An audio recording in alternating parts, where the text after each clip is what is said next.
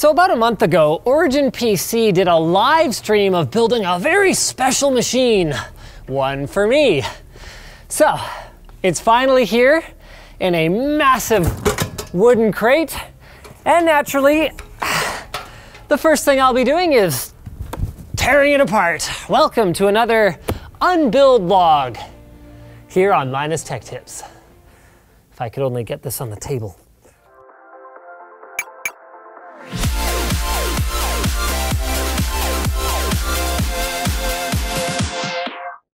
Okay, so I don't know who came up with Origin's premium shipping containers, but this thing is amazing.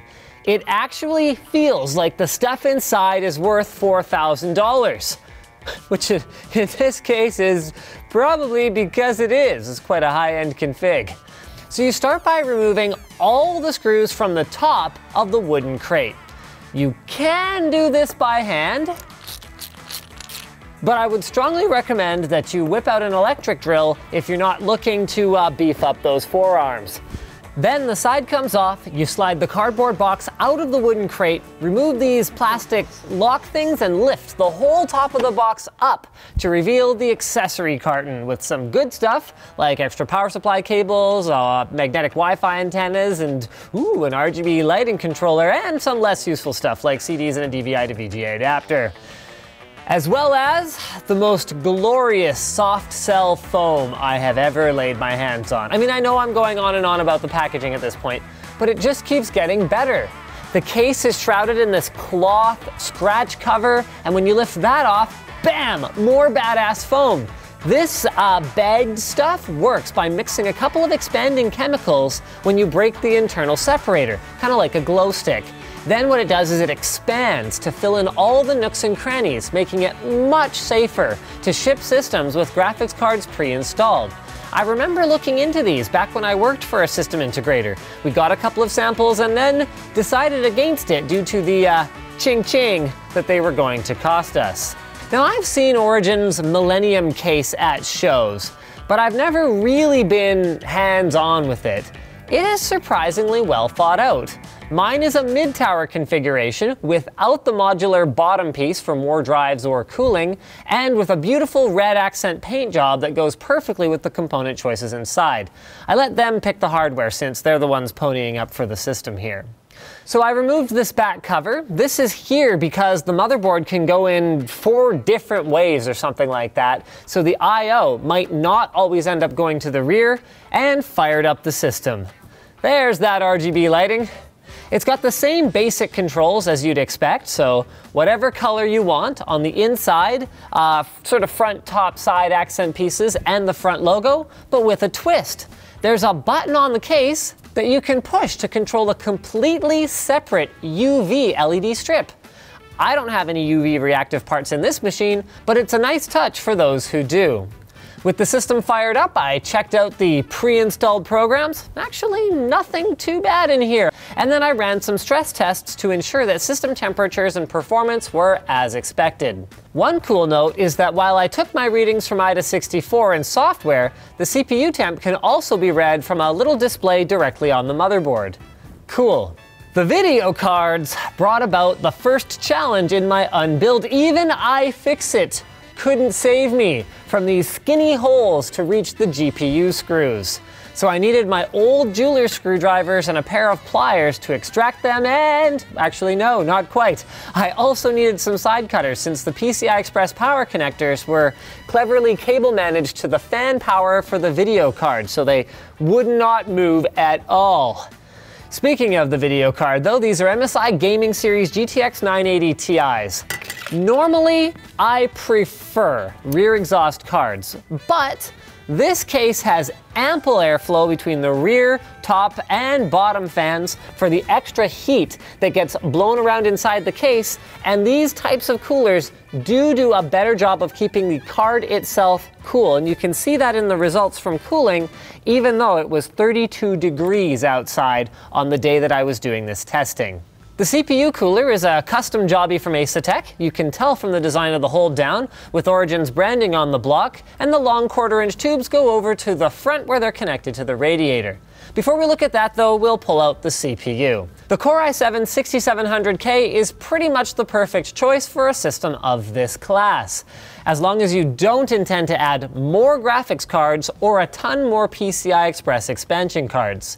Keeping it cool is a massive triple 120 millimeter radiator, something I had wished for from the major AIO makers for ages, with three Origin branded fans running through a clever little cable management grommet to a fan splitter on a custom PCB near the front of the chassis, hiding behind the five and a quarter inch bays. It should be noted that this is one of the few things on this case that is not symmetrical.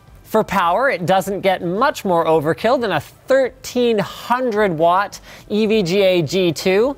And while the Supernova blows up everything and takes everything else with it. Branding of EVGA's power supplies doesn't make a ton of sense to me. I can't argue with the quality, or in this case, the cable management.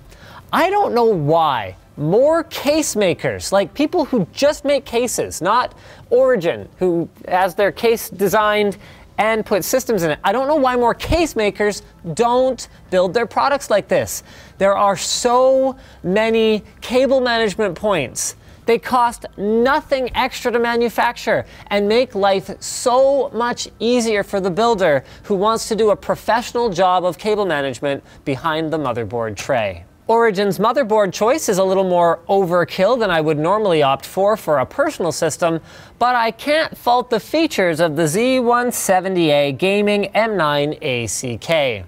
It's got the onboard sound isolated from the rest of the PCB, dual M.2 slots for up to two M.2 SSDs. It's got a ton of I.O., including USB Type-C, dual front USB 3 headers for the four front ports on this case. It's got ample cooling and a flashy Thank goodness I don't have to install anything but the bare driver killer networking solution. For RAM, it appears at first that they've gone with plain Jane dual channel HyperX Fury DDR4, but wait!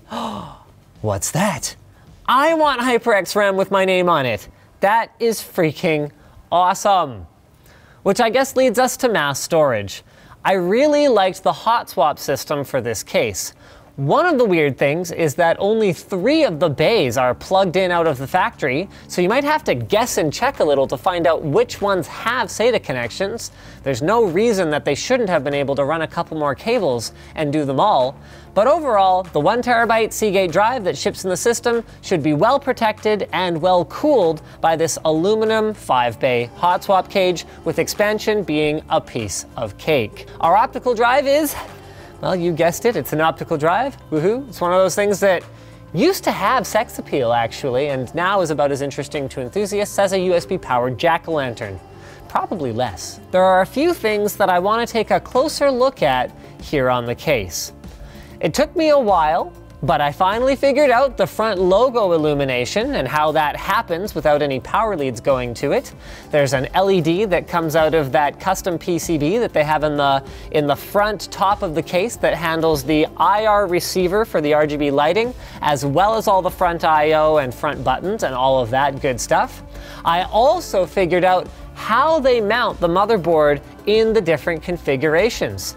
So you just take these rails unscrew them, and there are just a ton of holes in this baby. So depending on what orientation you want to mount it in, let's say we wanted a reverse ATX, you just move them around to where they go and you slide the motherboard tray in the other way, you put some screws back in, and there you have it. While I was doing that though, I discovered that one of the RGB lighting strips was in the way of trying to orient the motherboard the other way. And it turns out this is really cool. Origin actually did up their own RGB lighting strips. They've actually like got their name right on the back of the PCBs. So these use a hard PCB rather than a flexible one, and then they are hard mounted with standoffs and screws to the case rather than relying on adhesive. Because as you guys probably know, if you've ever used LED strips, that adhesive can come off pretty easily, especially over time. That's an over-engineered solution to the problem of LED strips falling off in shipping, but I really, really like it. So there you have it, guys. My unbuild treatment of Origin PC's masterpiece is complete. I have reduced it to its bare components. And if you guys were thinking, well, gee, Linus, that is a crying shame because I'd love to have an Origin PC, we've actually got a link in the video description, including an offer code. It's Linus OPC. You can get yourself free CPU and GPU overclocking from those guys. But if you like the video and you're not looking to buy a computer necessarily, all you got to do is click the like button, get subscribed for more videos just like this one. And uh, hey, maybe if you really liked it, you can support us by buying a cool shirt like this one. Well, actually, not quite like this one. This one's all foily and shiny. It's a new design that's uh, hopefully going to be coming soon by uh, joining our community forum where you can ask questions and answer questions and maybe even become a contributor over there. You get a cool little contributor badge or just by checking out our other channels. We've got some great videos up on channel Super Fun lately. You can click the little eye in the corner if you want to check out the one that we've got featured right here. And I think that's it. That's all. I will see you guys again next time.